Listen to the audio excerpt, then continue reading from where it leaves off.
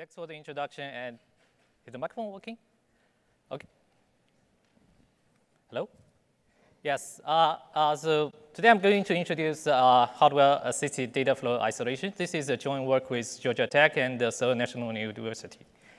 So in this work, our focusing is memory corruption vulnerabilities. And due to the popularity of C and C++ pro programs, and especially in daily use large programs like kernels, browsers, uh, memory corruption vulnerability is very common. At the same time, memory corruption vulnerability is uh, highly exploitable. They can usually lead to arbitrary memory uh, code execution.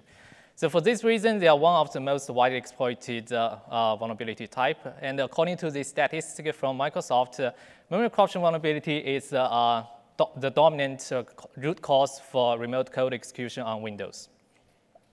So to understand how memory corruption vulnerabilities can be exploited and prevented, let's use this very simple Stack Overflow example as a running example. As we can see, uh, the program at the left side uh, has a uh, buffer uh, Stack Overflow vulnerability, and the corresponding assembly is on the bottom. So at line two, we allocate a new buffer, and uh, at line three, we push the return address on the stack. At line six, when we call the uh, string copy, if the passing argument is large enough, we can overflow the buffer and uh, compromise the return address. And finally, if attacker can control the return address, they can leverage this to launch a, a variety of different kind of attack, including like code injection and return-oriented programming. So uh, there are many uh, defense mechanisms being proposed to defend this kind of attack. For example, the most widely used one is called stack guard or stack cookie, which insert a canary value between the buffer and the return address. So if uh, overflow happens, this canary will be corrupted, and uh, then attack will be detected. Unfortunately, uh, if uh, attackers can directly write to any given value uh, address, or if there is an information leak vulnerability, this defense mechanism can be easily bypassed. Alternatively, we can also try to encrypt the return address. So even if attacker can compromise this return address, they cannot control the decrypted value. The challenge here is how to do key management. Basically, if we ever reuse the encryption key, then uh, the encryption scheme can be broken and the attacker will win again. Finally, we can also try to relocate the return address to uh, another stack and isolate using different uh, approaches, including software-based and hardware-based. However, this shadow stack also has uh, many limitations. For software-based uh, shadow stacks, uh, the major limitation now is that in 64-bit world, we lack good uh, isolation mechanism. Basically, in the segmentation in x86 is gone in 64-bit, and uh, access domain is also gone in 64-bit ARM processors. As a result, for security solutions, we have to choose between efficiency and security. So for solutions that opt for security, uh, such as using masking or virtual address space isolation, they are secure, but uh, they are slow. On the other hand, for solutions that opt for efficiency, such as using uh, random-based isolation, they are efficient, but uh, has been proven to be broken. For hardware-based uh, shadow stacks, the problem is uh, flexibility. So existing uh, or proposed hardware-based shadow stack has problems supporting features like set jump, long jump, uh, deep recursion, and uh, sometimes kernel stacks. And uh, because they are specialized to protect only the return address, uh, it's very hard for them to reutilize re them to protect other types of data, such as uh, other code pointers or non-control data. In addition, the data shadowing itself also adds uh, additional overhead. It breaks the uh, data locality, requires additional steps to look up the shadow data, or requires reserved registers. At the same time, there is an unavoidable memory overhead. So to overcome these limitations, we propose HDFI. As a hardware-enforced uh, isolation mechanism, HDFI is both secure and efficient. At the same time, we designed to be a generic uh, uh, data isolation mechanism. So it's very flexible, and as shown in our paper, we can utilize it to build different kinds of uh, security model and applications. We also design HDFI to be fine-grained so as to eliminate the need for data shadowing. Finally, to ease the, um, the adoption in practice, we try to, during our design, also try to minimize the hardware changes. So HDFI is uh, inspired by the data flow integrity work uh, published in OSDI 06. Basically, similar to control flow integrity, uh, data flow integrity enforces that the runtime data flow should not deviate from the model generated from static analysis. To enforce that, uh, DFI first uh, assigns every write instruction ID, and then it, it, extends the memory model to record the, the ID of last writer. For example, if when we push the return uh, address onto the stack, we will modify the corresponding tag to record the last writer is, uh, say, line 3. And if uh, there is a buffer overflow happens, we will record that uh, all the, oh, sorry, all the, uh, the last writer actually the line 6, sorry for that. And uh, then at every load instruction, we will check whether the last writer is within the allowed set for example, in this example, the only allowed uh, write instruction that to, over, to write uh, the return address would be line 3. And if overflow happens, we will detect that and the exception will uh, be generated and the attack will be prevented.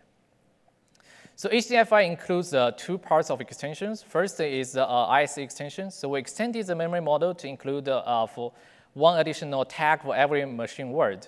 However, instead of uh, trying to support arbitrary lengths of uh, tag, we only we found that in real applications, one bit tag is uh, enough. So in our company implementation, we only support one bit tag. We also uh, introduced the three new instructions to manipulate and check the tag. Store and set one uh, will store a value to the memory and automatically set the tag to one. Load and check zero will check if the tag is zero, and load and check one will check if the tag is one. So we don't have an explicit uh, load and uh, store and set zero instruction. Instead, we modified the uh, traditional or original store instruction to implicitly set the tag to zero. And for load instruction, we didn't change any semantic, so we can be backward compatible with uh, existing binaries. So for hardware uh, extensions, uh, our main modification is between the main processor core and the external memory. We extended the cache line to include the additional uh, tag bits so as to support our new instructions and reuse existing cache co coherent interconnect. And because we cannot extend tag to memory, which is DRAM, we also basically uh, store all the tag bits in a big uh, bitmap called tag table and introduce this uh, memory tagger to duplex uh, memory access to be one data access and one tag access. However, if we naively implement this, uh, it will introduce um, too high performance overhead because we doubled the memory access. To reduce the overhead, we introduce three um, optimization techniques. First is uh, we introduce the tag cache in the memory tagger to, uh, so as to exploit uh, the uh, locality of uh, memory access. The second one is called tag value bit. It's based on the observation that in during normal executions, most load instructions will not check the tag.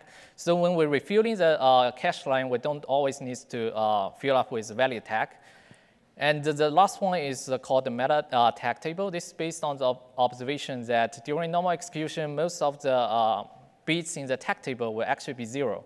So if uh, a line of the tag table is all zero, we will just don't load it from the memory or don't rewrite it back to memory. So having this new feature, let's go back to our Stack Overflow uh, uh, example and see how we can use HDFI to defeat the attack.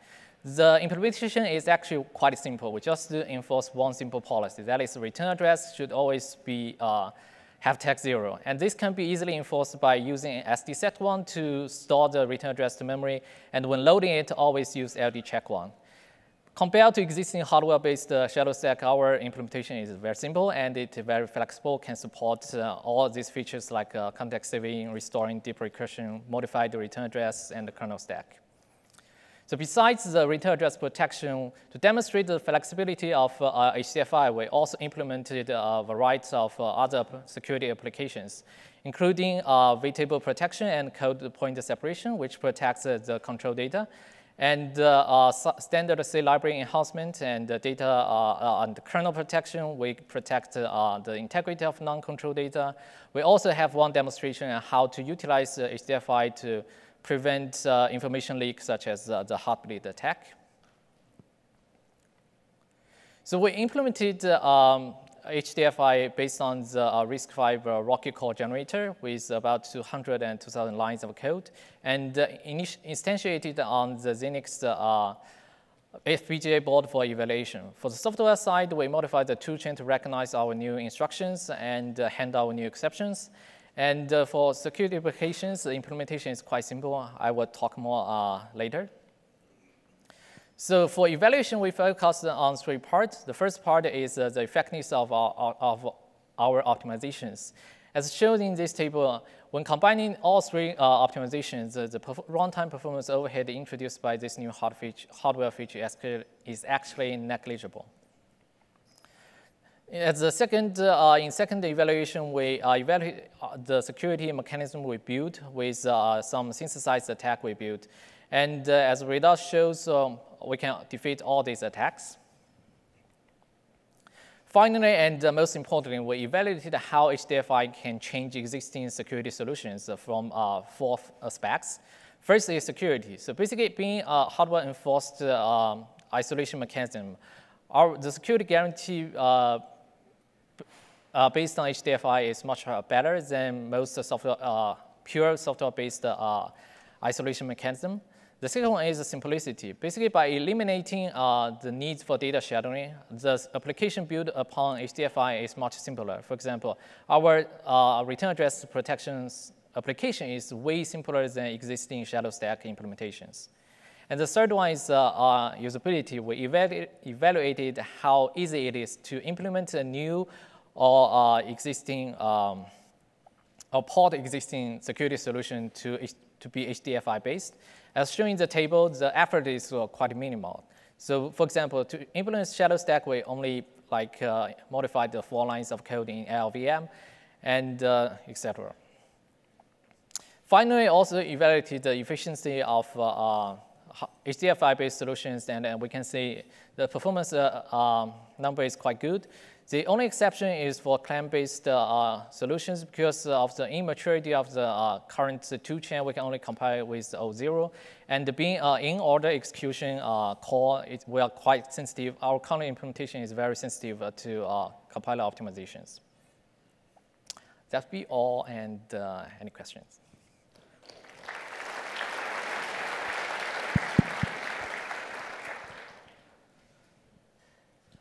Any questions?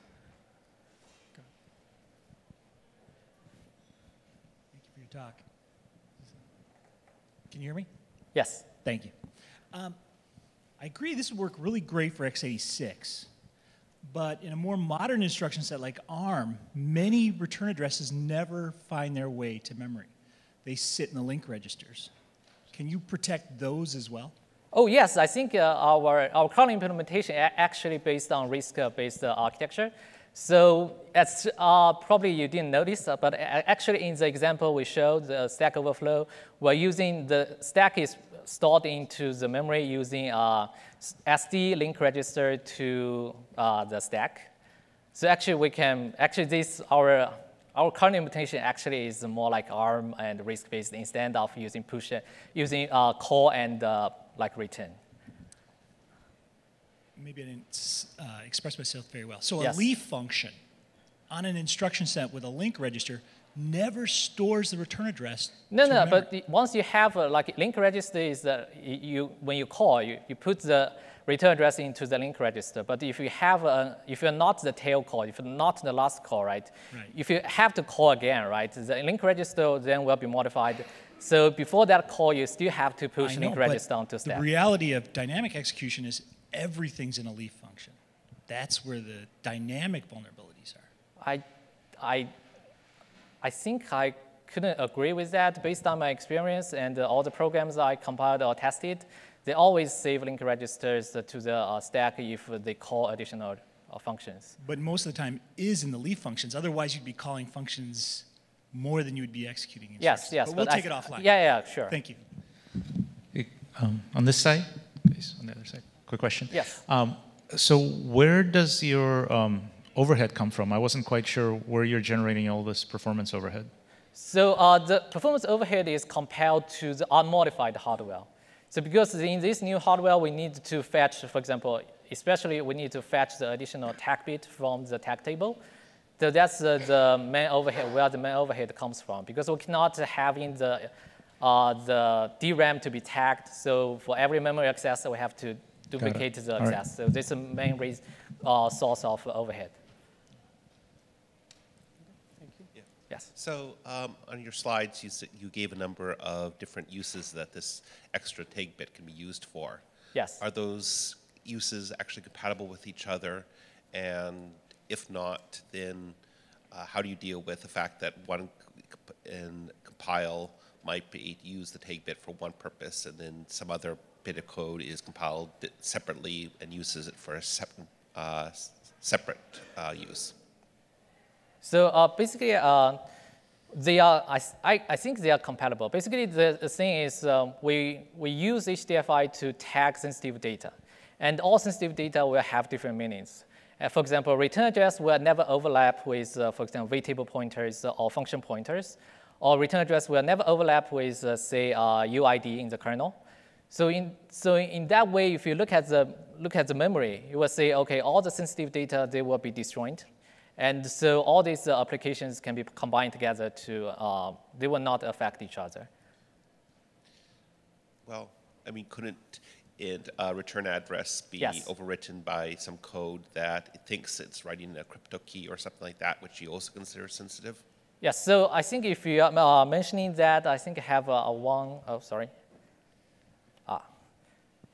Could, you uh, go to one slides uh, more, or maybe? So I have a, I actually have a backup slide talking about this. So all this uh, is based on DFI. So the thing is we have to rely on the data flow analysis.